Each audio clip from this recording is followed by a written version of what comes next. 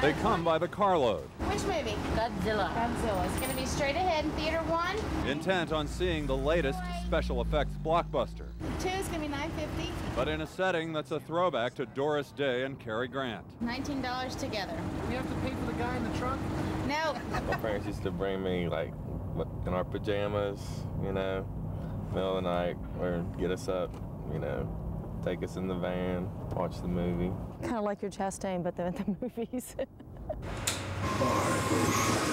They've played movies outdoors here since the summer of 66. Next weekend, they'll stop forever. Time to face your fears, Joey. Managers of the 85 North Drive-In say the place wasn't doing that badly financially, but they say the corporate owners of the property decided that they could make better use of the 33 acres of prime real estate located inside the perimeter. This is strictly a business decision on Regal Cinemas Park. It's just, we're a public company, and of course, you know how shareholders are. They want to make some sort of a profit, too. The demise of the drive-in also marks the end of a 24-year daytime tradition here. Those are fifteen dollars. $23. That's the best you can do. The flea market that sprang up each Sunday in the shadow of the twin screens $3. $1. And that's an item that, you know, that I bought today. We got a closeout, $1. It became a Chamblee Thank you. institution, tapping into the area's working class immigrant community.